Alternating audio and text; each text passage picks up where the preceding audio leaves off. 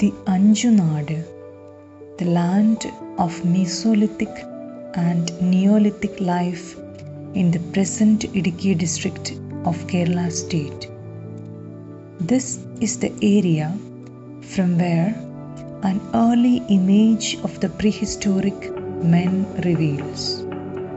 The petrographs, dolmens, and petroglyphs survive in this area gives us an idea to reconstruct the social history of the valley.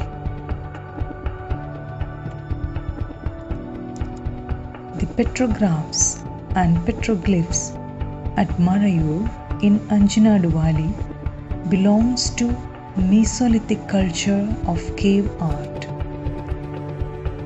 The Anjanadu Valley is situated in between Anamalai Hills and Palni Hills on the eastern slope of the Western Ghats in Idukki district of Kerala.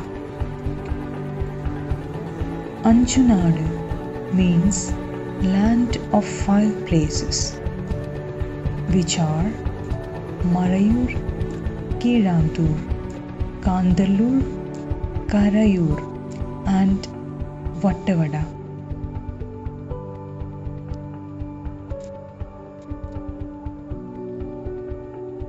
Anjunadu Valley has dozens of dolmens and 19 rock art sites.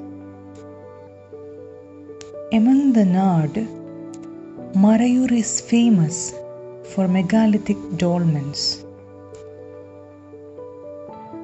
Dolmens, also called Muniyaras, were burial chambers made of four stones placed on edge and covered by a fifth stone called capstone.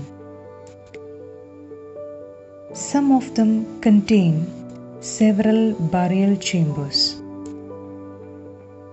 The region has several types of dolmens, sometimes ranging from 70 centimeters to 170 centimeters in height above ground.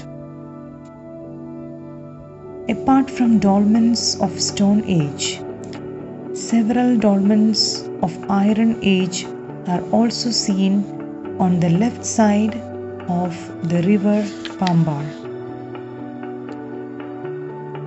Marayur is also known for the sandalwood forest. Again, Marayur has its own traditional techniques in natural building with mainly mud and thatch. Marayur Jaggery with its own GI tag adds to the charm of Marayur.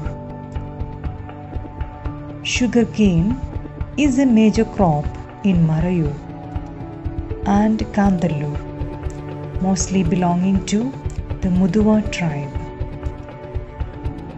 Here, more than 2,500 acres of land is under sugarcane cultivation.